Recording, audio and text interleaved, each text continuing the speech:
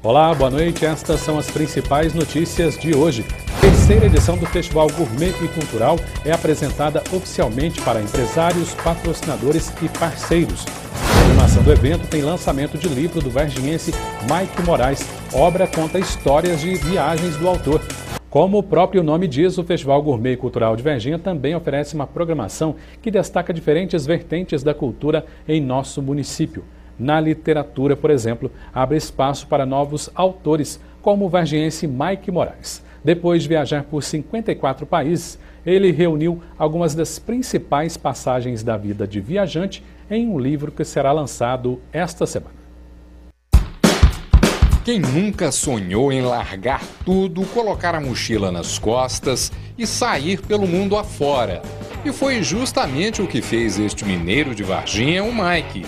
Mochileiro por opção, decidiu desafiar os próprios medos e o destino. Se jogou nos braços do mundo, a partir de uma viagem ao Alasca. É um pouquinho da minha vida aqui no Alasca. Vou mostrar para vocês como é caminhar por esses lados de cá. Eu saí daqui de Varginha para ir morar no Alasca, onde eu fiquei dois anos a primeira vez que eu fui. E lá no Alasca eu trabalhava, juntava dinheiro e viajava boa parte dos Estados Unidos. Depois desses dois anos eu me mudei para a Europa, onde eu continuei trabalhando também. Trabalhava de garçom, lavador de pratos, entregador de jornal. Esse tipo de trabalho são os trabalhos que eu conseguia lá que são os subempregos, né? os trabalhos que os moradores locais desses países geralmente não querem fazer e os estrangeiros fazem. É o segundo serviço que eu pego, o segundo serviço grande de pintura aqui. Tá rendendo uma graninha legal, tá ajudando a me manter na estrada. Isso aí, isso é o que importa. Experimentar é a palavra de ordem. Calor, frio, paisagens de tirar o fôlego e os sabores exóticos estão no pacote das viagens. Comer carne de cachorro foi um desafio e tanto. Eu estava na Coreia do Sul, em Seul, é, fui visitar um amigo que morou comigo, é um coreano, um amigo meu que morou comigo na Irlanda, e ele, como parte da cultura asiática, da cultura coreana, me levou para um restaurante onde eram servidos carne de cachorro. E é um cachorro que eu não lembro a raça agora, não me fugiu o nome, mas é, eles têm fazendas de criação desses cachorros lá. Então existem fazendas que criam esse tipo de cachorro só para o abate. E nesse restaurante era servido somente esse tipo de carne. Mike segue viagem com duas mochilas, uma levando equipamentos de fotografia e vídeo e outra roupas e pertences pessoais.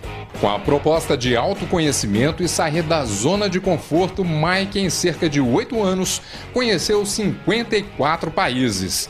E essa história está narrada aqui nesse livro.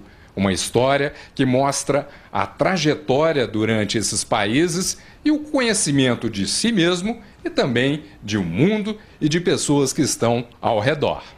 Dividido em três capítulos, em 256 páginas, Viajar Eu Preciso é um livro que reúne as percepções de um mochileiro apaixonado por aventuras.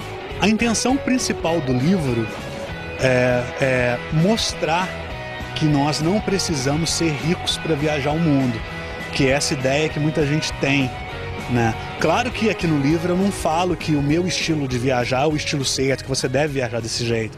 Foi o estilo que eu me adaptei, né? que é o estilo mochileiro, o estilo perrengue. O mochileiro é aquela pessoa que, que economiza o máximo para se manter mais tempo na estrada. E através de tanta coisa interessante, tanta coisa inusitada, né, tanta experiência marcante, eu achava é, um pouco de egoísmo guardar isso tudo para mim. Então a intenção foi colocar tudo isso no livro para motivar as pessoas e mostrar que o mundo é muito maior do que a nossa simples cultura ocidental.